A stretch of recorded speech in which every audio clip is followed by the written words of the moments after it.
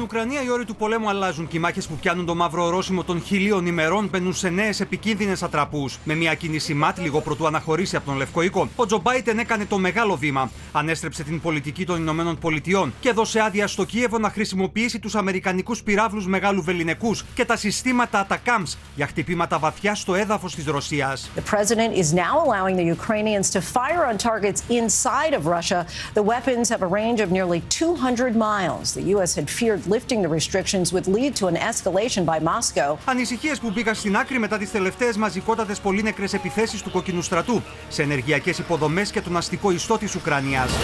Μολονότι ο Λευκό Οίκο δεν προέβησε επίσημε ανακοινώσει, η επιβεβαίωση ήρθε διαστόματο Βολοντίμιρ Ζελένσκι, ο οποίο παρέπεμψε με νόημα σε πράξει και όχι λόγια. Але удари завдають не словами. Такі речі не анонсують. Ракети самі за себе скажуть. Обов'язково. Слава Україні!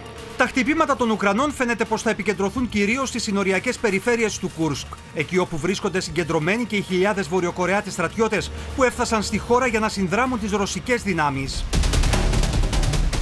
Μαζί με τον πόλεμο, σε νέα φάση ως προς την αντίδρασή της περνά και η Ευρώπη. Ηνωμένο Βασίλειο και Γαλλία ακολούθησαν τον δρόμο που άνοιξαν οι Αμερικανοί και ενέκριναν επίσης χτυπήματα επί ρωσικού εδάφους με πυράβλους Σκάλπ και Storm Shadow. We openly said that uh, this was uh, uh, an option that we would consider. Κίνηση την οποία χαιρέτησε μέχρι και ο ύπατος εκπρόσωπος της Ευρωπαϊκής Ένωσης, που καλεί και τα υπόλοιπα κράτη-μέλη να πράξουν το ίδιο. The Ukraine should be able to use the arm we provided to them in order to not only to stop the arrow but also to be able to hit the Arcas.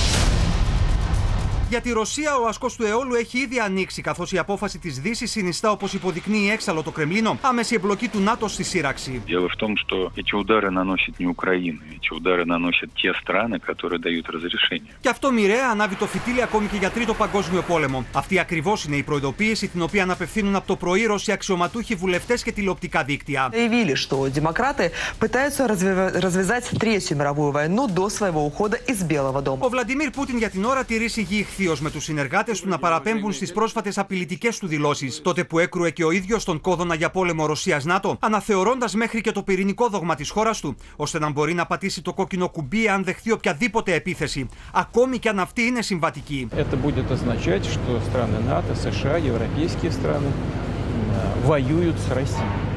А если это так, мы будем принимать соответствующие решения. Μέσα σε αυτό το επικίνδυνο σκηνικό, εντολή στο στρατό του να βρίσκεται επί ποδός πολέμου έδωσε και ο Κιμ Γιογκούν. Η ένταση βρίσκεται στο κόκκινο ένεκα του απειλητικού χαρακτήρα των Αμερικανών και των συμμάχων του, διαμηνύει ο Βορειοκορεάτης ηγέτης.